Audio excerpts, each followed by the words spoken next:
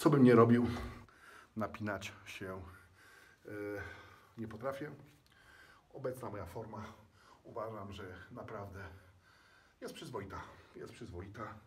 Wagę też troszeczkę e, e, poszła troszeczkę do góry. Także na tą chwilę 145 kg. Ale nie ma co mówić. Jak widzicie, baty wychodzą. Także nie ma jakiegoś tam wielkiego zatłuszczenia. Brzuch też. Nie ma co mówić. Jest przyzwoity. Także bicepsiki dla Was. Jeszcze raz siła i honor. Hej.